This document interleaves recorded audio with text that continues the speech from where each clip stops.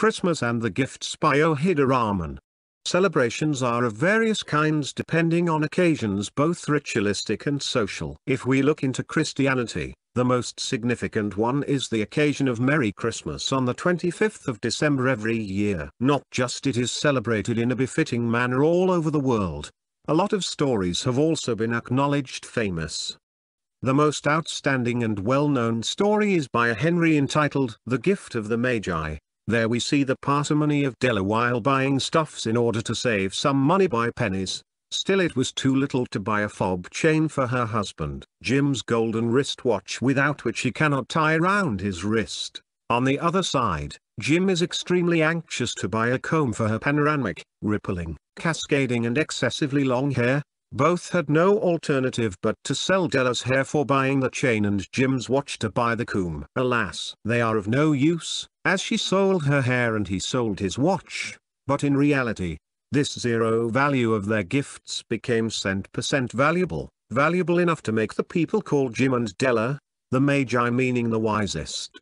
Let's review one of the episodes of an extremely popular comic serial Mr. Bean. Alas, he lives utterly alone, no one from anywhere he has, who will wish him Merry Christmas, nor there anyone who he can wish Merry Christmas, however, he has to wish himself Merry Christmas, no alternative. Now Mr. Bean set his alarm to wake him up well before the midnight for celebrating Merry Christmas. The machine did not betray. He woke up and celebrated Merry Christmas alone and went back to bed again. To make fun with Mr. Bean, someone set his clock one hour ahead wickedly. It is natural that the clock running ahead did not come to his notice. To his dismay he woke up again by the sounds of the celebrations by the other people. And it was not difficult for him to realize the unexpected fact. Let's talk about another comic serial Perfect Strangers where a Latin American used to stay together with his cousin in the USA.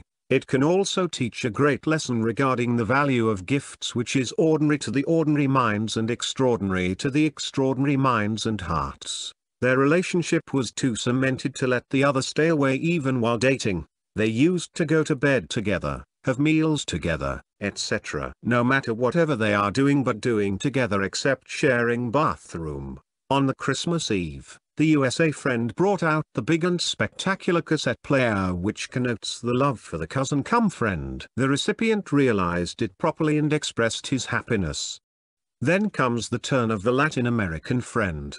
He slowly opened the package and gave it to him.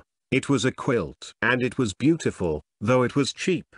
It sounds ridiculous but still the recipient thanked and eulogized for the present. He also asked how he got it. The answer was almost as follows. Dear friend, I have made it myself for you. Every night we go to bed together but when you've fallen asleep, I leave the bed slyly and sew a little every night. And that's how I made it for you as Christmas gift. This gift is invaluable for those who can realize the real value of it but valueless for those who are after glossy and silky threads.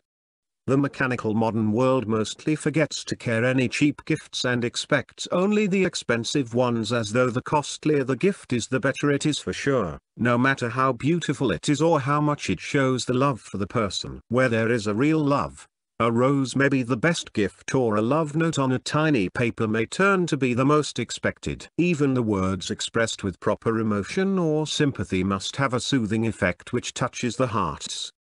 Another regrettable fact relating to gifts is that many invitees feel bothered if they are invited, only because they have to undergo trouble for buying gifts for the occasions. It is even heard that the expensive gifts already bought have been returned to the shop for exchange with cheaper ones or it is kept for another occasion when they will be served with more expensive foods as anticipated.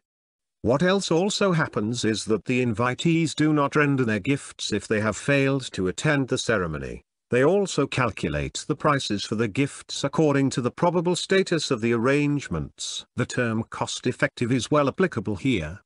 In most urban areas the invitees buy gifts, attend the ceremony timely and seek an opportunity to occupy seats for the lunch or the dinner as if the gifts are the tickets for their special meals, no matter whether they have visited or seen the bride or the bridegroom for whom they were invited. The meal is over, so is the occasion interestingly. The competitions among the invitees are not uncommon here. They prefer a florid style of their dresses and gifts in order to be socially more acknowledged and prioritized. There lies the difference between the real love or feeling and the fake love or the mock feeling.